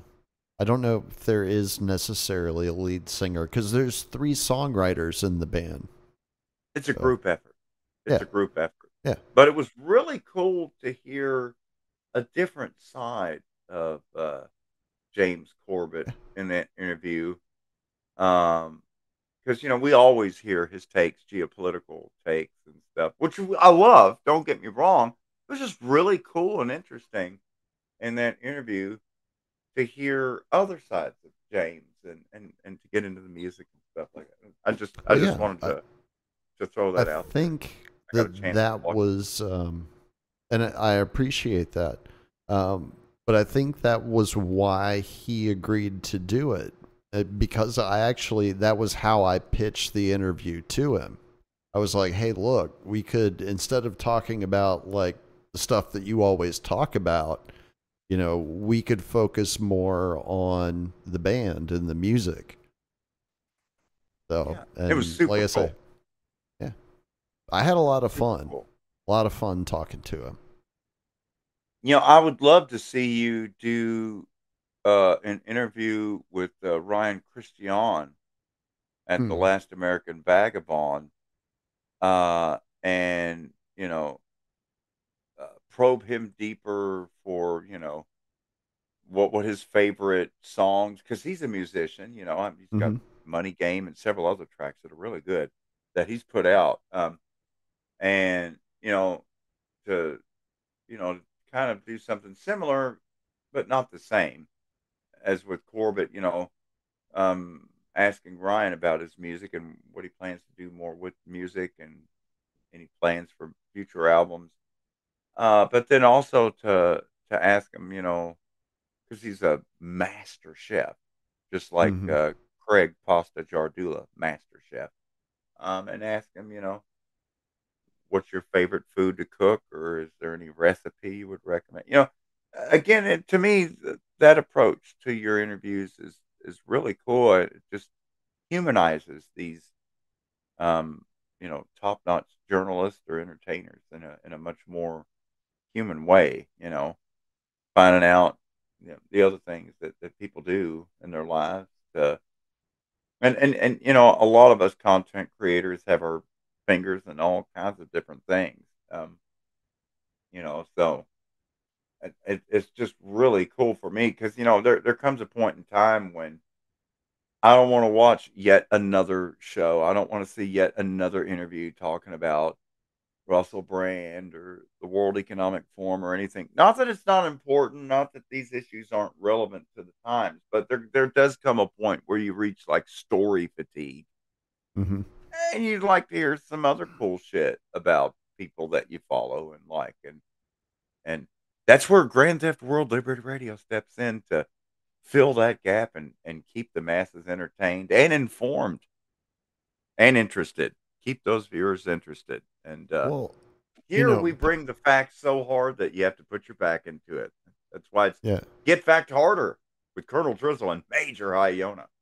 Well, part of the reason why the mainstream propaganda is as successful as it is is because they are only presenting a single view of whatever it is that they're talking about, right? And they're uniform across their entire spectrum in that view that is being presented. So, again, like you were saying, the way to uh, demystify things is to look at it from all different sorts of angles. And I don't know, for my way of thinking, like people are so used to um, interacting with the people that they see on screens in a very particular way, right? And mm-hmm. to me, it's almost uh, a dehumanizing way because there's a lot of projection that happens um, on the part of the viewer, right? So mm-hmm. to yeah. to kind of um, you know help facilitate that uh, perspective, hopefully falling to the wayside at some point, or at least lessening it. It, it seems to me it makes sense to understand these people that we normally only see in one particular context to mm-hmm. understand mm-hmm. them as a human being, you know, somebody who has multiple interests, multiple talents, multiple skills. And just because we see them uh, in one particular way all of the time that we see them, you know, it doesn't exclude them from being able to do other things, even though we don't normally see or hear about those things. So, um, I don't know. Uh, I think it helps to provide uh, perspective. You know, I mean, imagine how humanizing it would be if you could interview President Joe Biden and just talk about shuffleboarding and badmintoning. You know, badminton and shuffleboard and going to the beach house and hairy you legs. Know? Um, you know, something where you can just kind of, you know, get Joe in the mood to where you can just set him off and let him start riffing, you know. Oh, I love it when Joe starts riffing, man. Give us something right off the seat of your pants, Joe. Just start riffing. And of course, the last time he started riffing, he was actually answering a question. I think it was in Vietnam and they literally, yeah, he was in Vietnam. Uh, Joe Biden's in Vietnam. They ask him a question, he starts answering, and um, uh, KJP, uh, Karine Jean Pierre, and and the other handlers, they're like, "Press conference over, press conference over," and they and they played him out with fucking jazz music. He oh, got nice. the fucking Oscar treatment, and they drowned him out. But like, when I was watching the segment, he answered the whole question and they like did their very best to try to isolate the audio to get his rambling ass answer. And he was because he was, you know, he was riffing, man. He, he he was on a guitar. He, you know, what I'm saying he was on the whammy pedal. He was playing with the fucking glass slide. He was riffing hard, dude. It's like that time when he was talking about, you know, the kids and they get on the internet and they want to find out if the aliens are real. And, you know, like, man, there's been some really good moments where, you know, or that time when he goes, why, why, why, why, why, why, why, why, why, why, why, why, why, why are you so nervous, man? You know, I mean, yeah. we've had some great Joe moments. Great. Yeah. Joe. Well, we've also had some forgettable Joe moments as well. You know, like his uh, uh his para Hitler speeches. Yeah. Like where he, oh, like I don't even know how to describe like the the authoritarian Joe Biden. Like it is kind of terrifying, right? Because it's Brandon, really man. intense. Dark like, Brandon is a real thing, man. Yeah, it looks like he he's living whatever it is that he's feeling while he's talking. Of course, the best video I've ever seen of Joe Biden in my entire life is when he's giving that speech. I think it's in Nebraska. And he's in a barn and he's standing next to like a big John Deere combine thing. And he's talking about we're going to have more American jobs. And, you know, right when he says this is going to be for more American jobs, literally you can see the white bird shit splatter across his jacket. There's a fucking bird shit on him right when he said that, you know. Really, the, the fact that they were able to catch that. And then when you watch the video clip, right when it happened, I mean, I don't know if it was ESPN or whoever got a hold of that footage, but they fucking did the zoom in, the slow motion replay. You know, somebody got on the telestrator and circled where the bird shit is splattering on it and what direction it's then running down his lapel play by play breakdown of the bird shit splatter on Joe Biden. Um, yeah, that that to me is quite possibly some of the best sports coverage I've ever seen of a presidential mishap. Although there's been some pretty good videos I've seen of the fall up the stairs. Oh yeah. Well, he's done that a few times now. You know, honestly, when all is said and done 10 years 20 years from now the video clip that's going to remain forever of joe biden falling up the goddamn stairs trying to get on air force one mm-hmm. not once not twice not poor guy just just climb with all four fucking get up there god damn Jeez. so well, you're you know, assuming that we're actually going to be here 20 years from now though yeah. And I don't even know if it's the same Joe Biden every time. It's not. Sometimes I look at it I'm like, wait a second. His earlobes didn't do that's not it. What the fuck's going on here, man? Mm-hmm. Yeah. yeah. My favorite was oh, the man. Joe Biden that never blinks. it's it's so fucking bizarre, man. It's so bizarre, but man, I got to say, things are really looking up. You know, it, it's darkest before the dawn. And fortunately, people are getting wise to this thing. You know, I think the one video I think that's made more impact than any others that I've seen in the last 10 years has got to be when uh was it Sinclair Broadcasting Network or um it was Matt Orfalea, I think, was the first one to put it together, where you start off with one local affiliate mm. station talking about, you know, censorship is a threat to our democracy, right? And yeah. then and then he split screen into two and then four and then all of a sudden there's 32 fucking screens and they're all saying the same goddamn thing word for word is a threat to our democracy yep. you know and it, it it as a video in and of itself, it encapsulates the whole problem with mainstream media in that it is so manufactured. Mm-hmm. It's so fake. And it's now pushed through a, a monotone megaphone nationwide throughout the United Federal State because whatever they had in mind as a United States of America under the Articles of Confederation only existed for a few years. And slowly but surely, we've just been reabsorbed back into the British Empire, into mm-hmm. A modern medieval system of nobles and serfs. Pretty much. Yeah. They've got yeah. openly admitted ass. now. Openly admitted. Uh, Gavin Newsom, future uh, presidential candidate, uh, was talking uh, with somebody.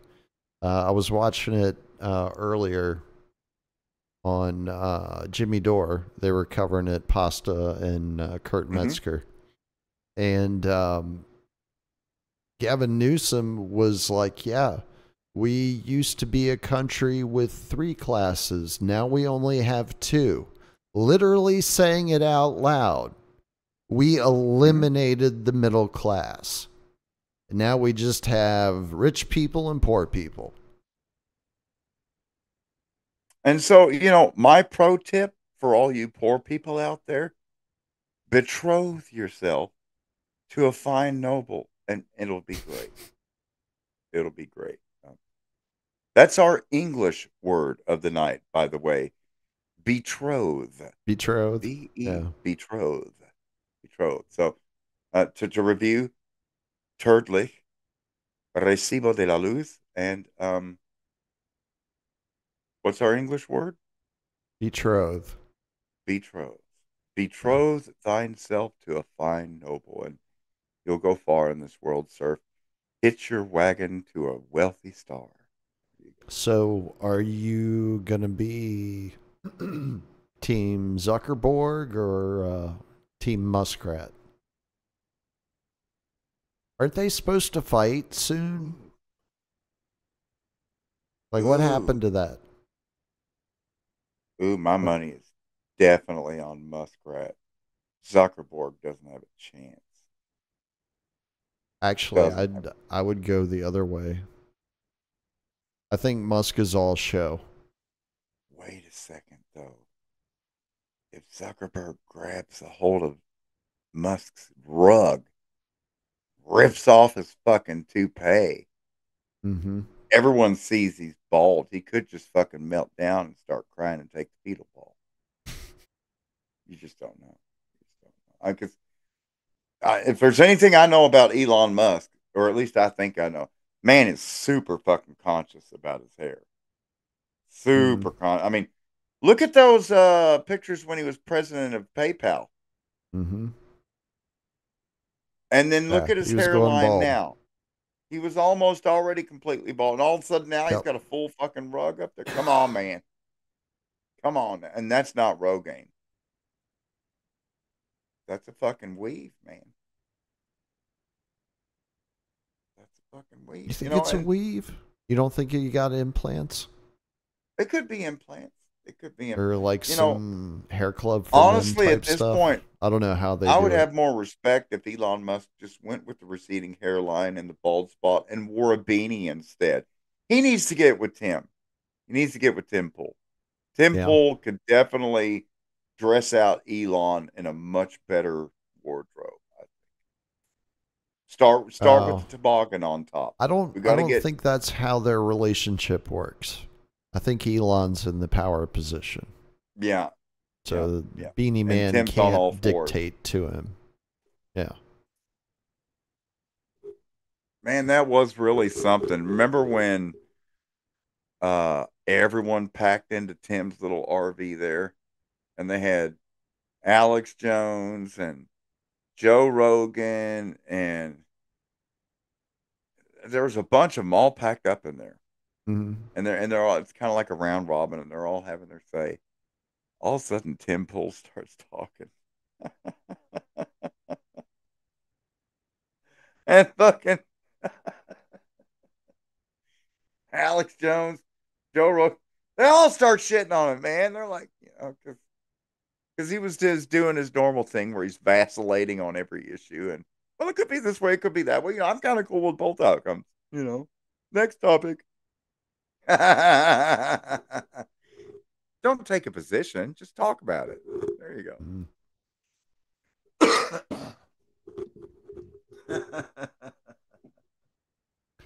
Let's see. Yeah. really is uh, interesting. in the chat, Yona, uh, El Libertas is uh, agreeing with me because uh, Zuckerberg does have jujitsu training.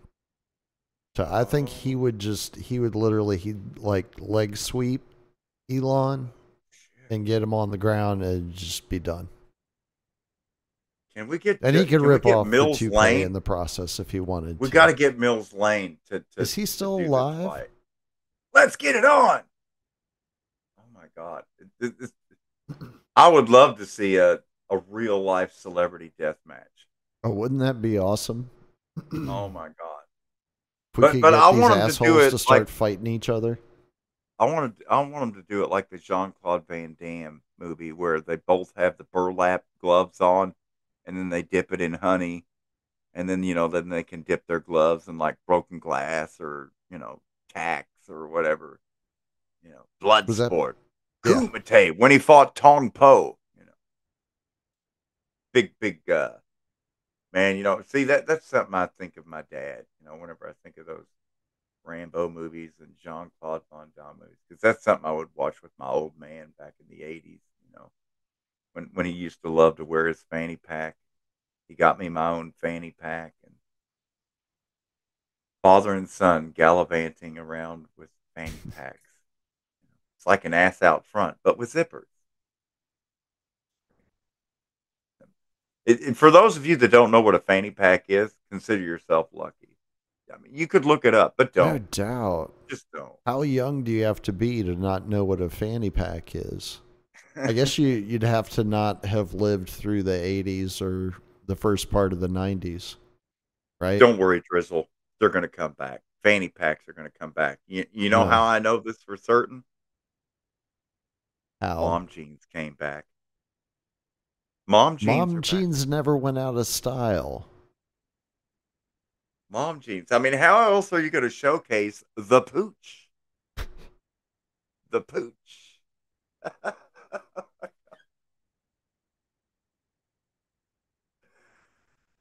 Man, nothing facts harder than mom jeans.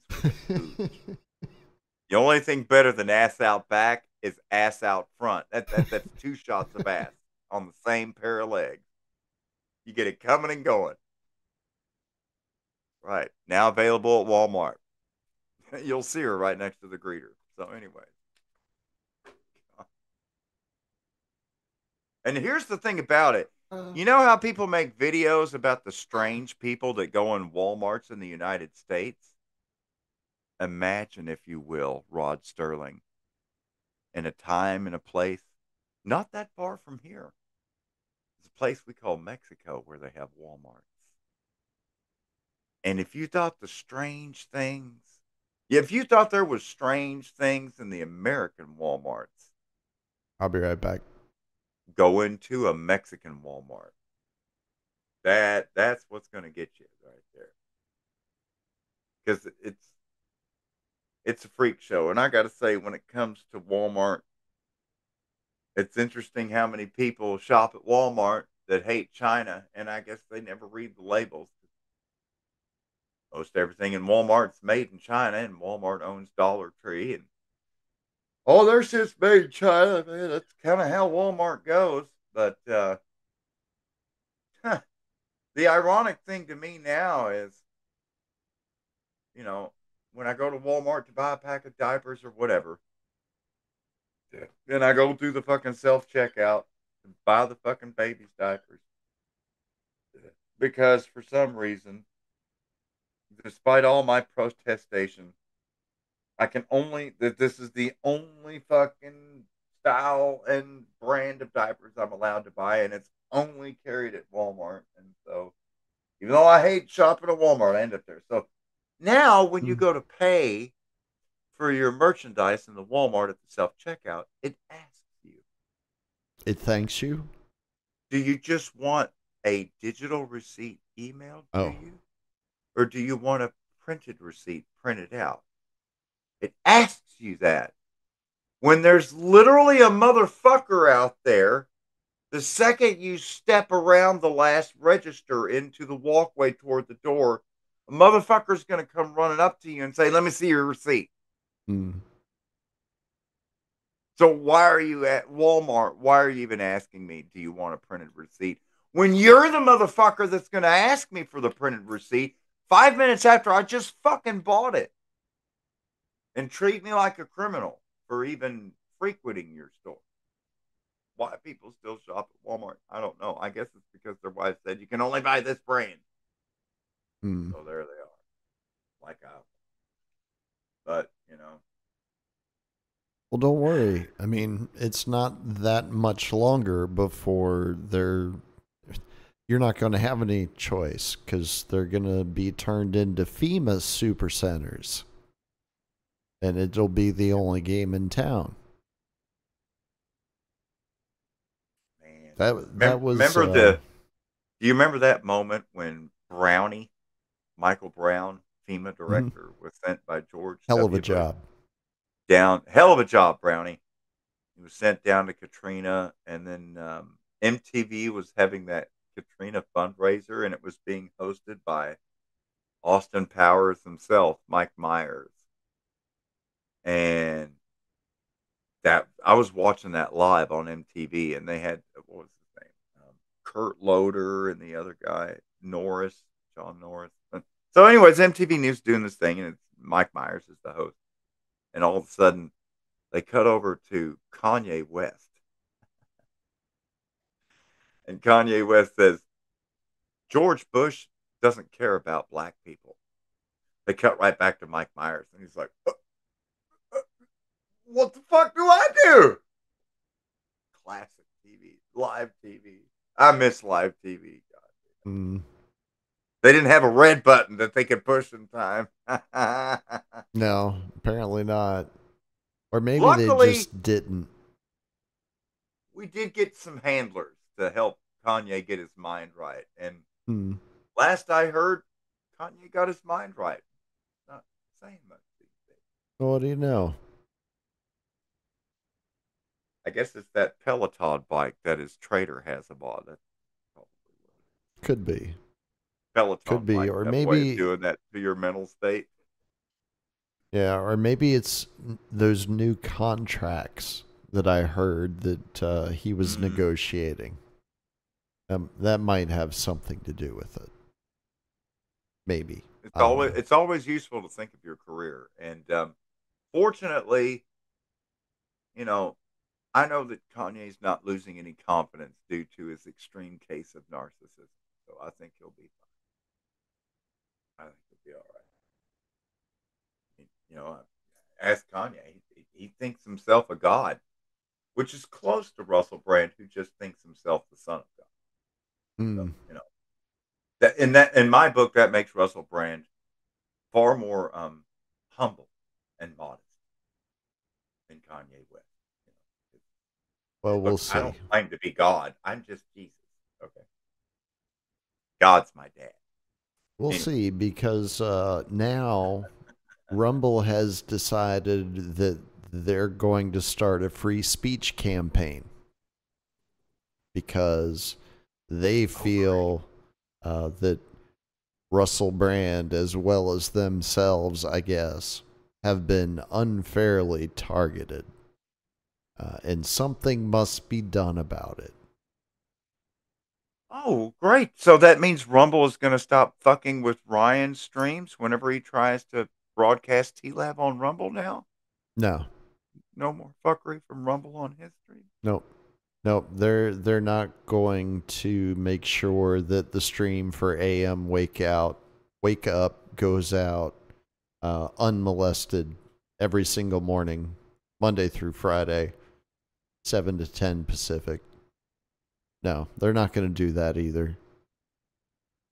They are going to make sure uh, that Russell Brand gets the um, uh, he gets the eyeballs, right? So he'll he'll get featured in the algorithm, and he'll get all of the good ads uh, attached to his videos, so that he can maximize the ad revenue. Um, and You Russell you Brand will be at it- fine. you got to look at it on the bright side. The reason why two Virginians like you and I can relate so well to Russell Brand is because he's a movie star and a British millionaire. Duh. Duh. I mean, we have so much in common, you know. Hmm. We, we both speak English. We both like the idea of being millionaires, only that he's an actual millionaire and we're not. But we we like the idea of being millionaires just like him. You know. We have a lot in common. more than you would hmm. think. well, I think we might have to leave it there and pick it up next time because I don't know how much more ridiculous we can get. Uh, did we finish up on Canada? Because right now, I feel like Canada and Justin Trudeau are uh, really, you know, setting new bars for ridiculousness. Like mm. trying to convince people how legitimate the Ukraine conflict is to our lives by giving a standing ovation to a Waffen SS Nazi and then having to apologize for it. And this act by Canada may end up doing more damage to the Ukraine funding efforts than anything else that's happened since 2014 and the overthrow of the Yanukovych government. Dare I say? Dare I say? Because there's no walking back what just happened with uh, what's his name, uh, Yaroslav Hunka. Yeah, they don't have to walk it back. They just memory hole it. I guarantee you, four weeks from now, most people won't even remember that it happened. It'll be gone. Now, for those of you that you know think that we're looking at this all the wrong way, um, I I'm not right all the time. Oftentimes, I you know, learn new things and change my positions. Um, it's called the Kama Sutra. So, um, for those that do find a warm, warm uh, feeling of solidarity with 98 year old veteran uh, who fought the Russians and their allies, America and England, um, Yaroslav Hunka and his darling wife actually set up a scholarship fund and a uh, studies program at the University of Alberta. So if, if, you'd like to go to school in Calgary or Calgary, however you want to say it, fucking um, or Edmonton has a campus as well, the University of Alberta. Um, you can apply for the um, Yaroslav Hunka Waffen SS scholarship um, which is a student. It, it's called the SS program because it's a student scholarship program, not not to be confused with the other SS, which is what Yaroslav Hunka was actually in. I mean, you can't make this up. The SS program under the Hunko is a student scholarship program, which was started by the thirty thousand dollar donation to the University of Alberta by Yaroslav Hunka and his wife. Um, so, although this thing may blow over in a couple of weeks, you, yeah, you you could get a fine education uh, in Alberta, Canada, um, and and apply for that uh, student scholarship. And you too could be a hunk, a hunk, a hunk of burning love.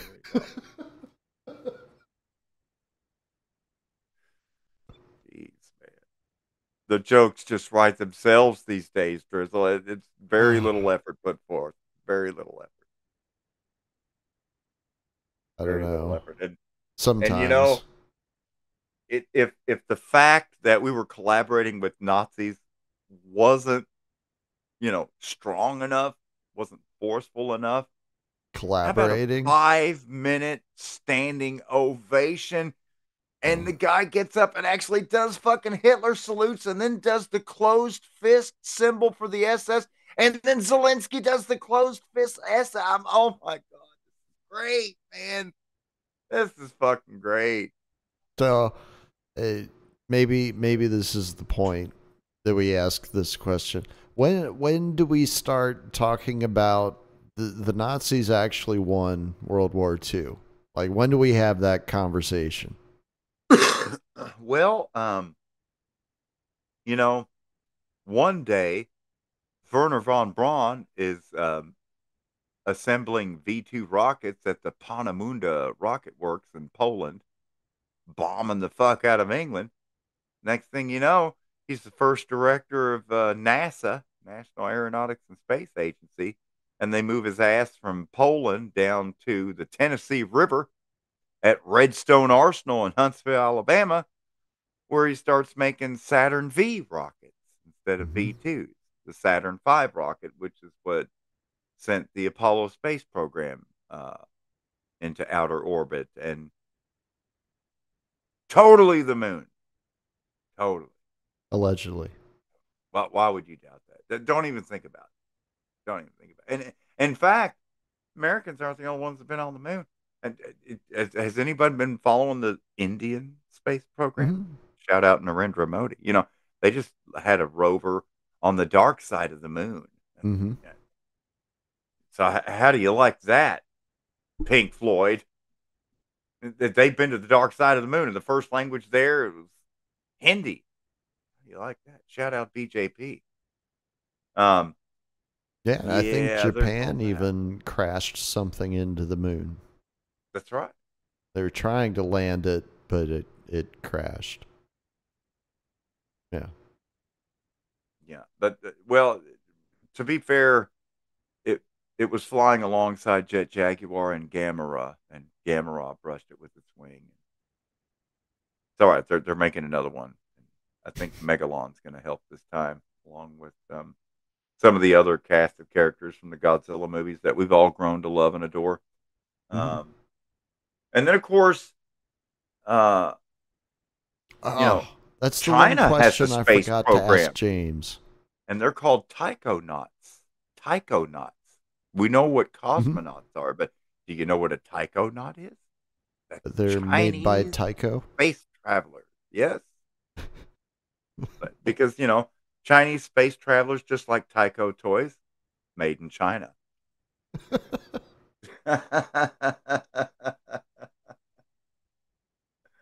so the question you forgot to ask, um, Kodomo-san.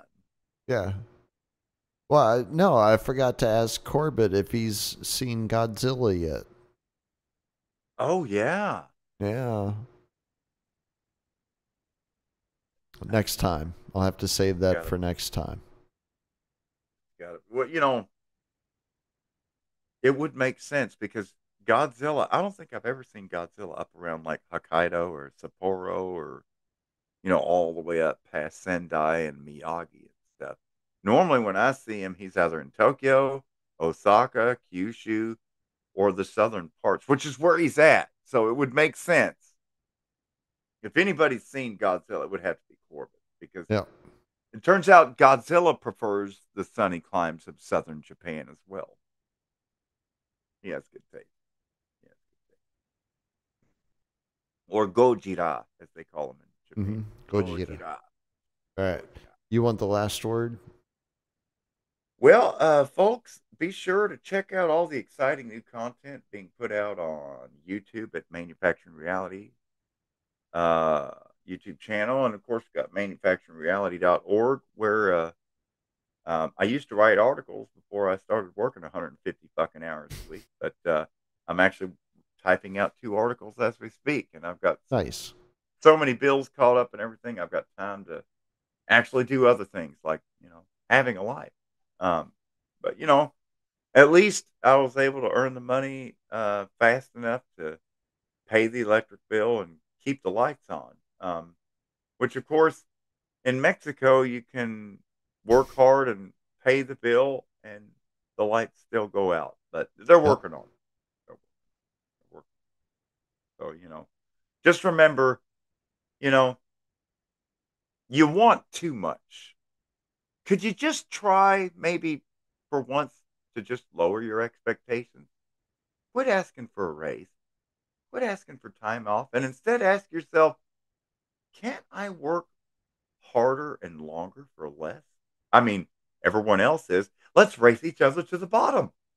And that, that's all I've got for this uh, edition of Get Fact Harder with Colonel drizl and Major High Yona, because, you know, you have to say it that way.